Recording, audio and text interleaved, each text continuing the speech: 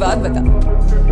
ना तेरे में शाहरुख जैसा चाम है ना ऋतिक जैसे लुक्स, ना आमिर जैसी क्यूटनेस और ना ही सलमान जैसी बॉडी आप खिलाड़ी को भूल गए